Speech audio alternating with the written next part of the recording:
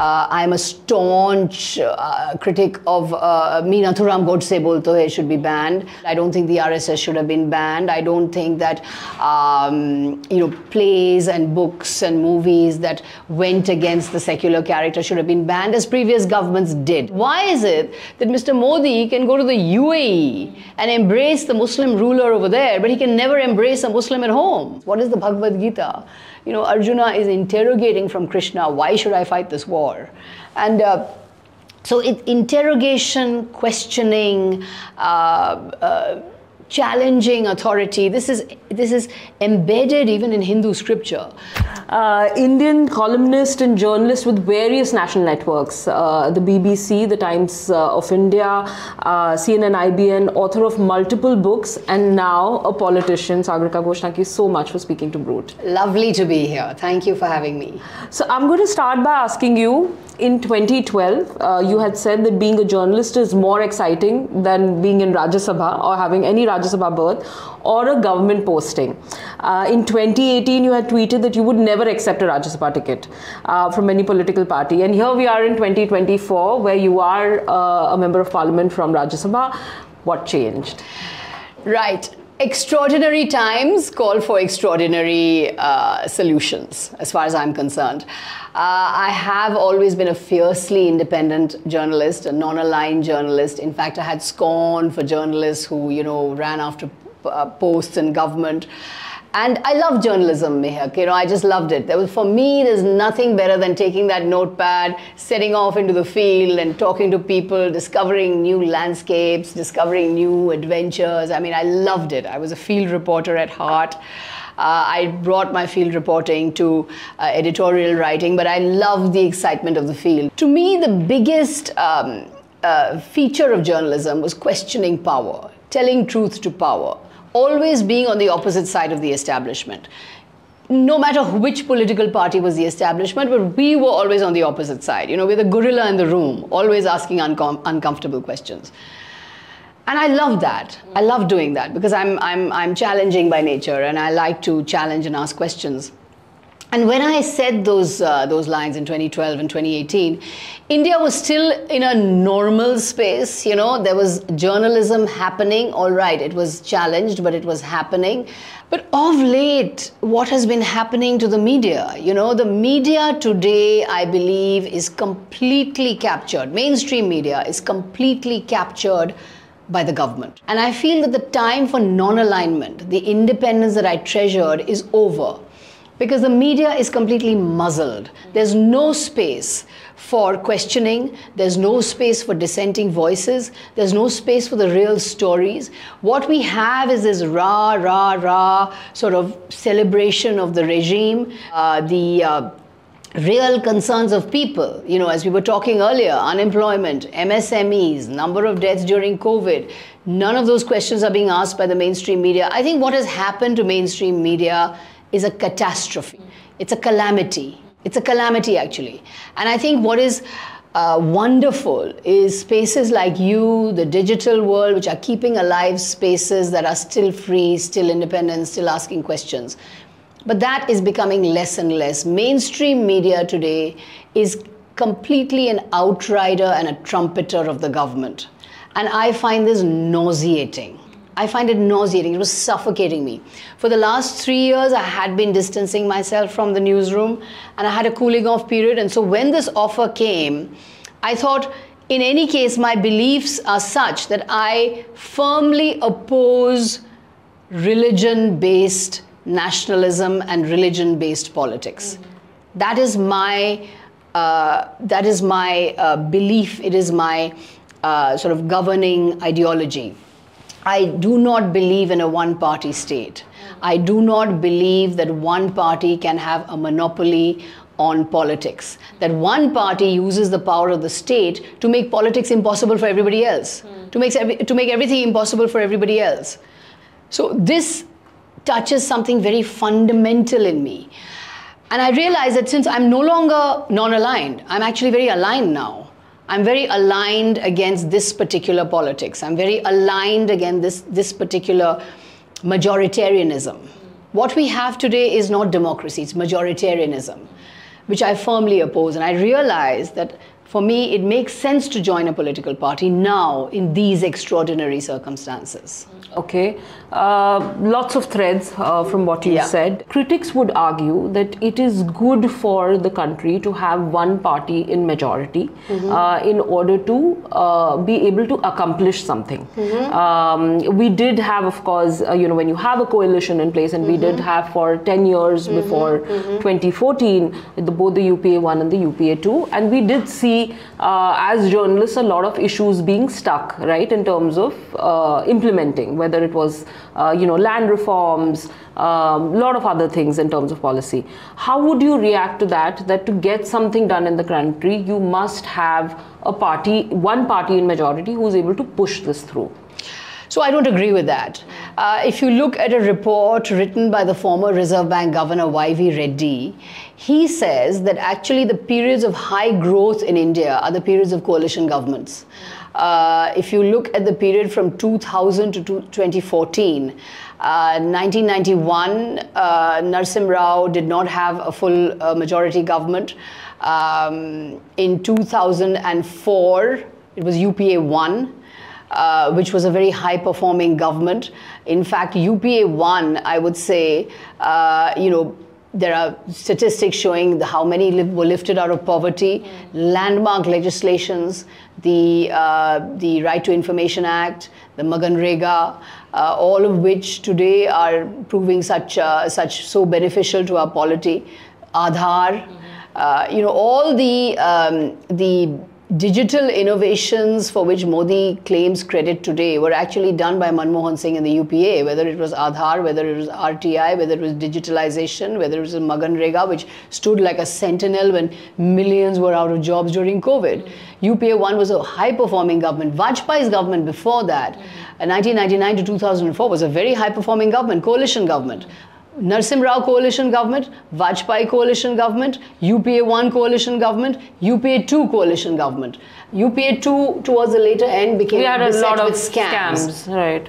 But let's not forget we had the Indo-US nuclear deal.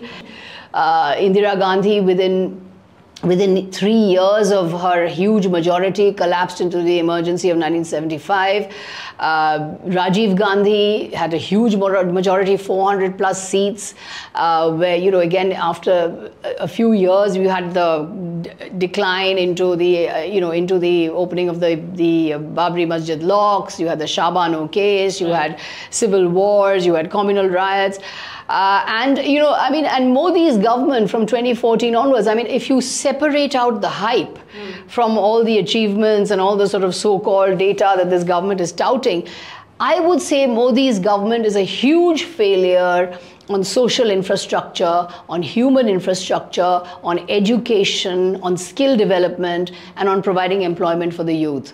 Uh, yes. Why, why, why do you say that on, on these parameters? Because I, I feel that first of all, on social infrastructure, uh, the harmony between communities is being damaged. Severely damaged. There is civil strife between Hindus and Muslims because of the kind of actions being taken by various Hindu extremist groups.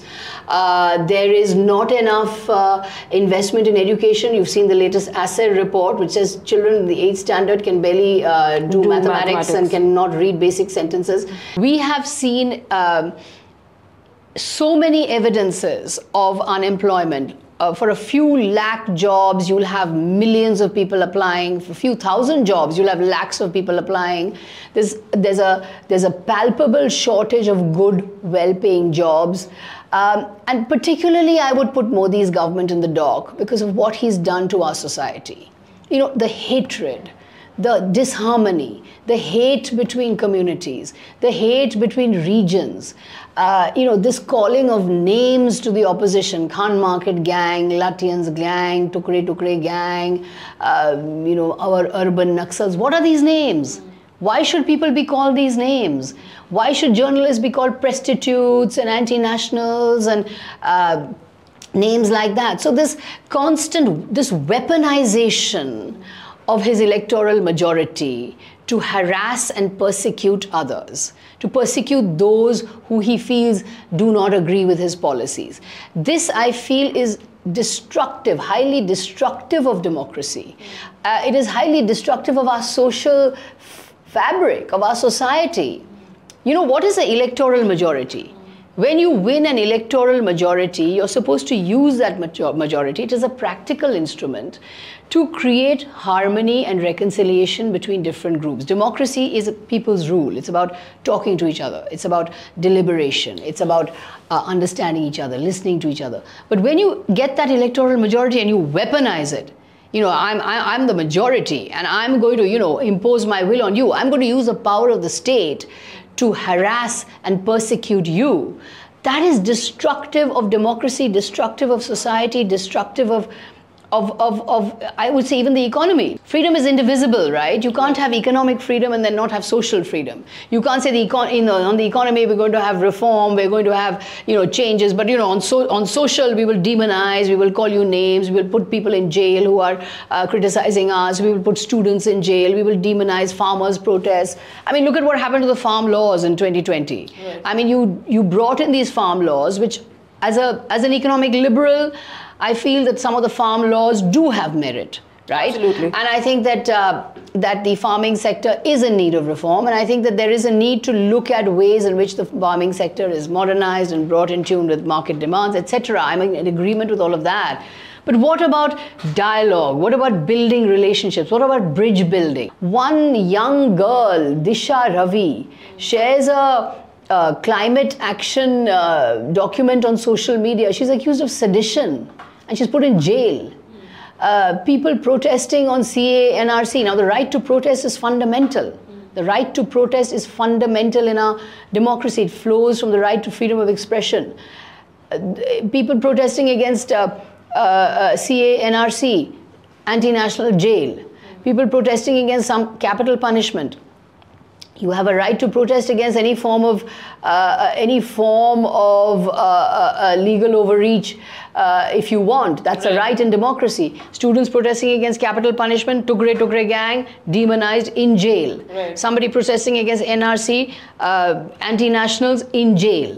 Farmers protesting against farm laws, Khalistani, demonized in jail female wrestlers protesting on the street, no action taken against them. The person who, who they protest, uh, no action taken on, on, their behalf, no action taken against the accused. Uh, the person who they're protesting the against, this BJP strongman Brij Bhushan Sharan Singh, he's intact. He remains where he is. He's still at large. Their protests are to no effect. In fact, we saw the women wrestlers being dragged away from uh, the site of the protest humiliatingly. Mm. So, you know, while we talk about achievements of a majority government, what achievements? What has happened to our society? What has happened to our interpersonal relations? You know, I grew up not knowing uh, about religious difference. I, I'm, I, I mean, I'm, I don't identify with religion, but I'm born Hindu. Right. I was uh, I grew up celebrating Christmas, celebrating Eid. I would go to church. I would go to my friends' houses for Eid. They would come to my house for Durga Puja. My family had a Durga Puja in their house. Uh, my friends would come over. Uh, there was perfect harmony. There are family members of mine who are married to Christians, who are married to Parsis, who are married to Muslims, who are married to Buddhists, who are married to atheists. Right as as it is in as many families in many in families. India, uh, Suddenly, we are told that somebody is an enemy because of because of their religion. Mm. Why? Uh, critics argue that at this point in time, it's not like, um, you know, all the policies, the Prime Minister said this, all the policies which have been made on an economic policy level has been made for everybody, irrespective mm-hmm. of what your mm-hmm. religion is mm-hmm. uh, in the country. So, till the last mile, uh, irrespective of your religion, uh, you know, you will get the benefit of that policy, which probably earlier governments did not do. Uh, how would you argue, uh, you know, uh, this point that before this, what governments had done was more of an appeasement. Let me make a particular policy for a particular section of people and leave some people, others, based on religion, out of it. Maybe mistakes were made by those who practice secular secular politics in a certain way. For example, as a liberal, I don't think that uh, Salman Rushdie's book, The Satanic Verses, should have been banned. Mm. Uh, I don't think plays like Me Savarkar Bolto Hai should be banned. Uh, I'm a staunch uh, critic of uh, Me Nathuram Godse Bolto Hai should be banned. I'm a, I mean, I'm repelled by Nathuram Godse's act, but uh, I do not think that a play that talks about Nathuram Godse should be banned. Uh, I don't think Savarkar's uh, work should be banned. I don't think the RSS should have been banned. I don't think that um, you know plays and books and movies that went against the secular character should have been banned, as previous governments did. But having said that, Mehak, the fact is this so-called appeasement that the BJP keeps talking about, what, what were governments supposed to do? India, in 1947, India had been partitioned. Right. Millions of refugees were on the march. Millions were being slaughtered. Uh, India had to prove against all odds that we were the home of Hindus, Muslims, Sikhs, Jains, all religions. So yes, India did go out of its way to be generous to minorities. India did go out of its way to appear plural, to appear multicultural, to appear as a home for all, not just a home for the Hindus. Mm. And in that sense, uh, yes, uh, there were concessions perhaps given to, I mean, Prime Minister Manmohan Singh had once said that Muslims have the first right on India's resources because in, you know, it stemmed from a belief that we need to look after minorities. Mm. We need to look after the, the, those who are who are vulnerable, who are helpless, all minorities.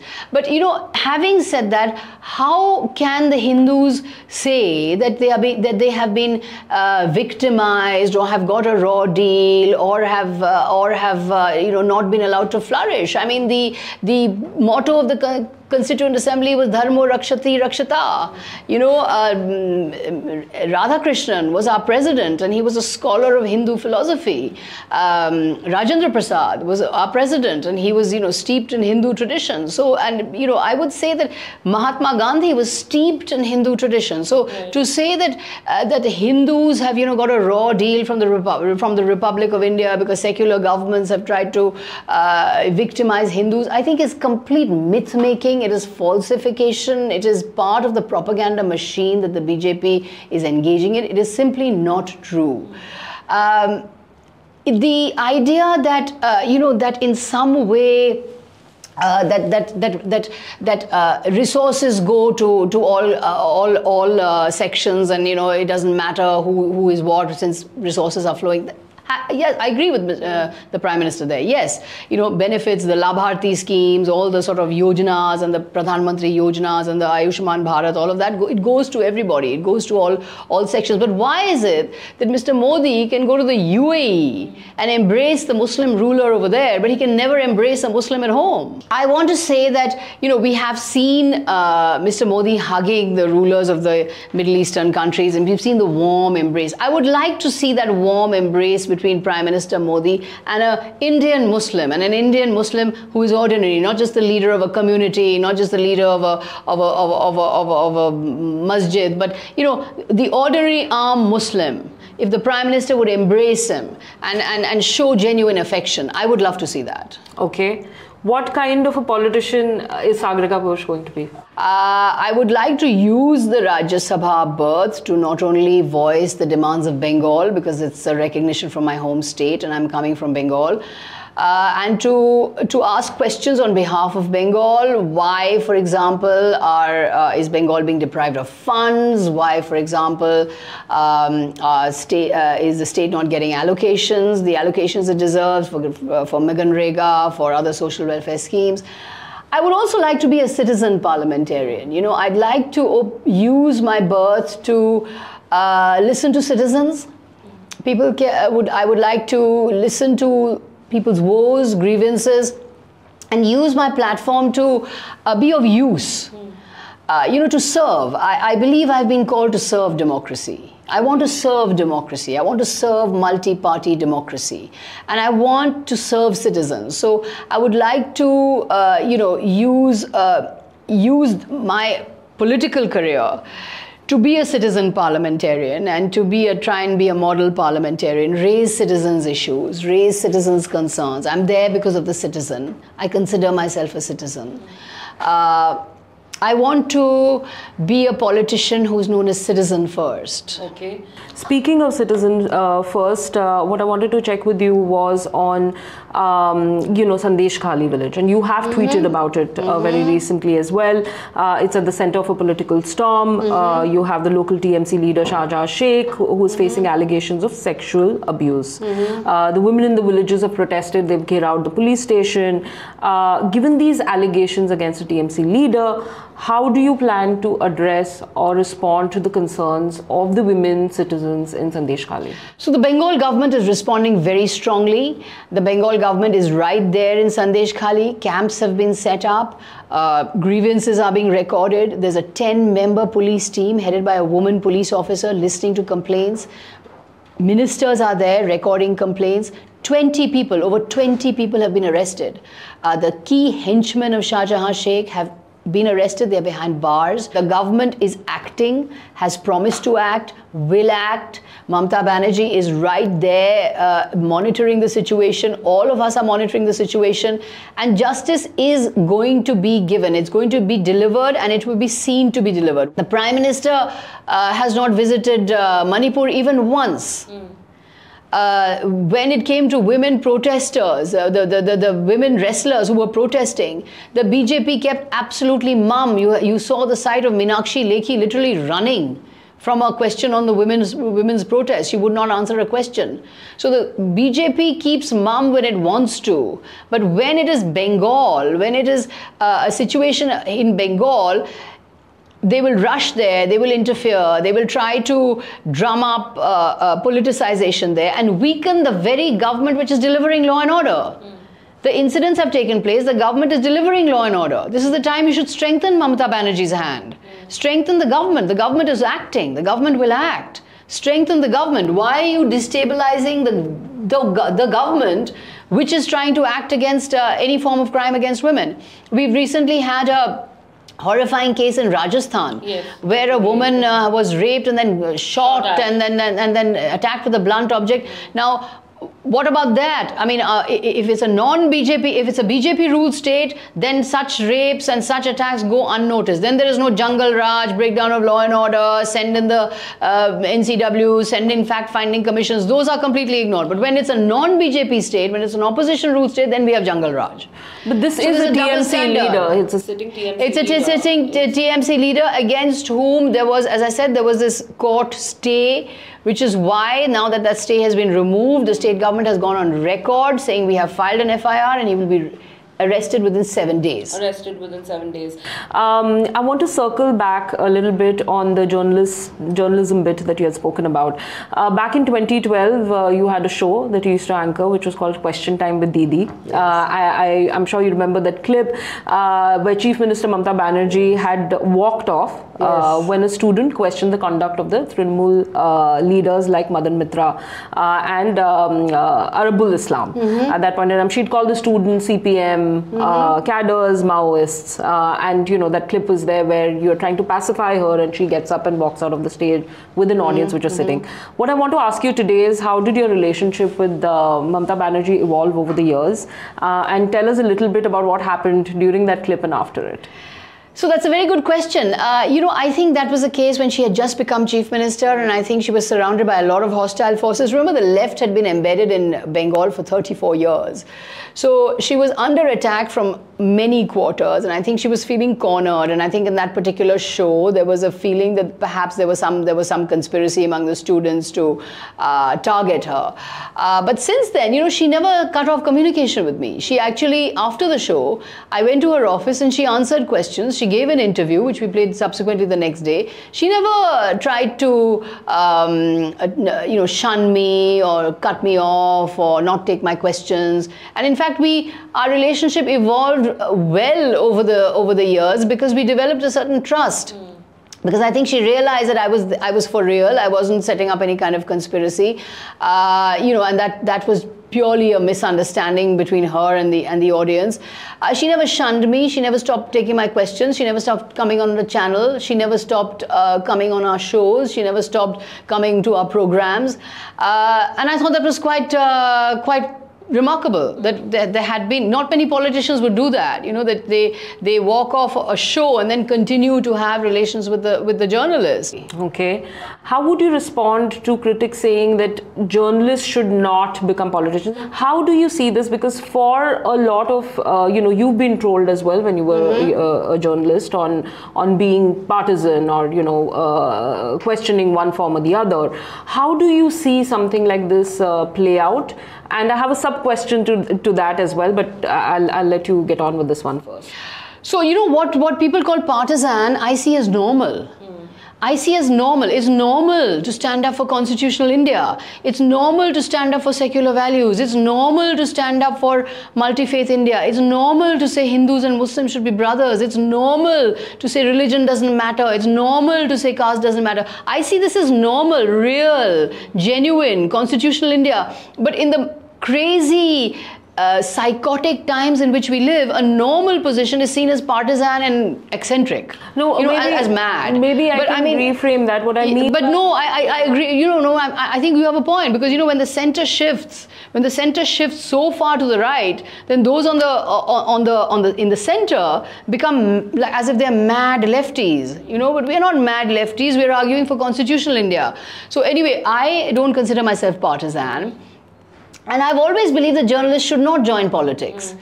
Uh, should they should the journalists should be uh, independent and they should uh, uphold the values of the press and they should uphold the fourth estate and uh, they should not be tempted by political power. But what's happening to journalism now, Mehak? I mean, journalism is finished. There's nothing left. The, the government has has completely finished off media, finished off the journalistic space. So there's no space anymore for to do journalism. So since there's no space anymore to do journalism, I feel that to keep alive dissent and to keep alive this questioning spirit, to keep alive uh, the ability to challenge the government, it's important to join the political opposition. Remember, I've joined the opposition. Mm. I've not joined the government. Right. I've not joined, uh, uh, you know, uh, I, have joined the opposition at a time when the opposition is supposed to have no chance. In 2024, it's supposed to be a done deal, and you know the BJP is supposed to be coming back with a huge majority. The opposition has little chance. That it's it's in this time that I've joined the opposition because I feel I feel I firmly and passionately convinced that unless the opposition breathes, democracy can't breathe, the media can't breathe, civil society can't breathe. Uh, dissenters will not be able to breathe, questioners will not be able to breathe. The opposition has to breathe. I'm down to my last two questions. Uh, my second last one is you've authored the book Why I Am a Liberal, um, a manifesto for Indians who believe in individual freedom. What does being a liberal in India mean today?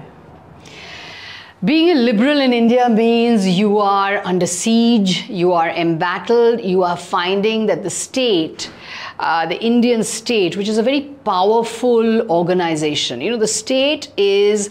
Uh, in India is a colonial state. It has tremendous power. The state has access to legitimate violence. The state controls um, enforcement agencies, the state controls punitive uh, agencies, the state controls uh, force. The, the, state is a uh, has a monopoly on violence.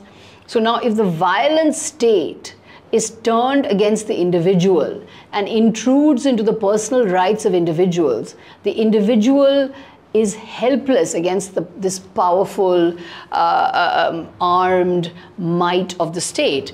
Uh, you know, Gandhi was a liberal through and through. In fact, Gandhi was a libertarian. He used to often say that I look on the state with the greatest suspicion. He didn't believe in state power. He saw state power as inherently violent.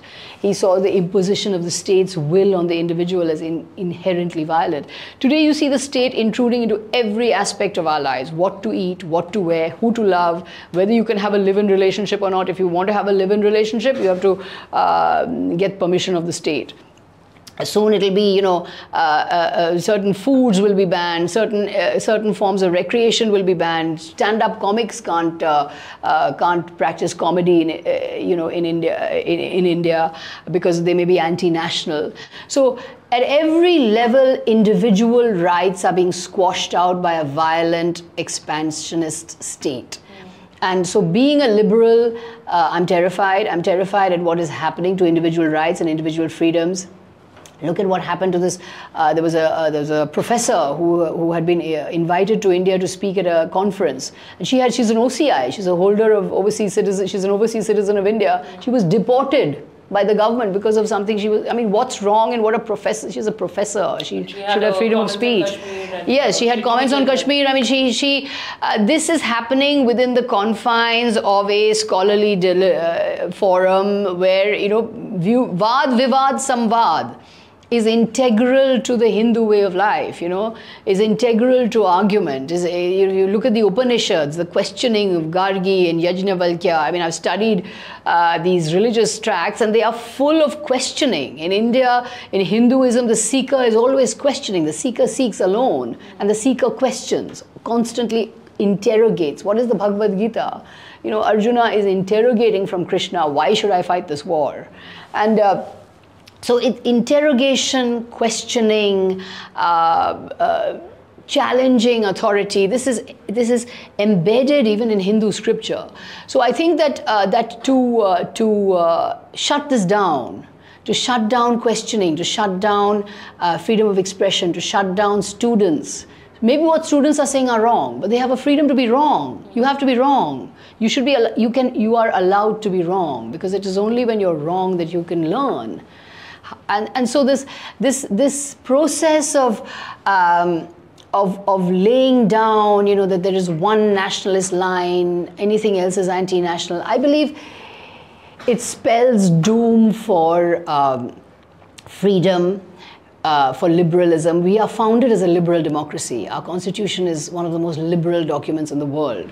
Uh, yes, liberal freedom means it comes with a sense of duty, comes with a sense of responsibility. Yes, we are not here to question the sovereignty and territorial integrity of India. Yes, we are not here to uh, become agents of enemies or anything like that. But the reason why we are questioning is because we are patriots. We want to use our uh, power to question to hold our country to the highest possible standards. Mm the country must be of the highest possible standards. We are not trying to attack the country or damage the territorial integrity of India. You know, all these words are bandied around. Of course not. My last question to you is uh, in an interview to the News Laundry in 2012, you had said that politicians and journalists cannot be friends. Uh, considering your significant, of course, years in journalism, uh, your husband Rajdeep Sardesai being, uh, you know, a, a seasoned journalist, how are you going to handle the situation at home? Good question. Uh, so far, Rajdeep and I have been keeping our lives completely separate. I think he does his uh, his uh, work in his part of the house, and I do my work in my part of the house. And I think uh, what we have evolved is a certain sort of division of space. Uh, so um, the spatial division is helping us to cope with our different areas of life. But we have, uh, and I, I, we have made a rule that we don't speak about work at home at all. So he doesn't bring his work home. I don't bring my work home. So at the moment, our conversation is restricted to uh, the kids, uh, the dog, the garden, the neutral territories, and uh, the neutral territories. But there are certain. Um, I mean, our dog has died, but we're planning to get another new dog. So that's what we're talking about a lot these days. And of course, uh, our family. So, but uh, but work-wise and uh, news-wise or politics-wise, we don't talk about that at all. It's hard to keep. It's hard. It's hard. But you know, uh, but I prefer to keep my counsel. He prefers to keep his counsel. So at the moment, we are only talking about um, how to get a new plant. All right, Sagarika Ghose, thank you so much for your time to Brut. Thank you so much. It was lovely to be here and lovely to talk to you.